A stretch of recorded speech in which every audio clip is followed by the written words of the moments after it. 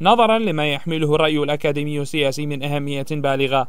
أقامت الجمعية العراقية للعلوم السياسية وبالتعاون مع نقابة الأكاديميين العراقيين ورشة تخصصية شارك فيها باحثون في الشأن السياسي والتي تناولوا فيها مشروع قانون الانتخابات الجديد والتي من خلالها طرحت نقاط المشكلات في هذا القانون. ومدى تأثيره على الرأي العام. قانون الانتخابات المطروح اليوم هناك عدة خيارات أو عدة سيناريوهات مطروحة.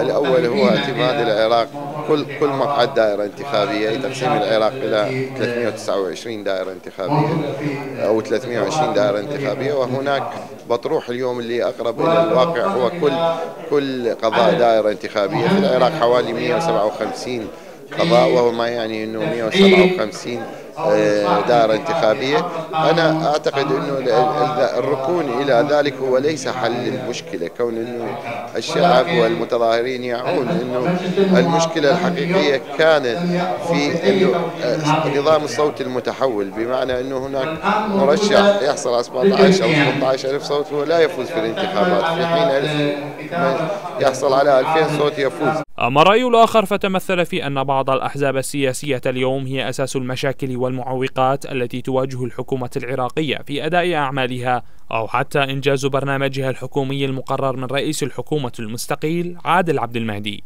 هناك منفذين.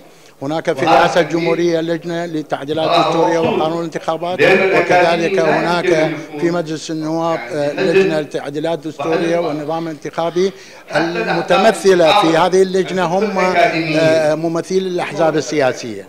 وبطبيعة الحال أنه آه، الأحزاب السياسية دائما تبحث عن مصالحها في موضوع التشريعات القانونية والإصلاح كما هم يدعون بالإصلاح. بين رأي وآخر.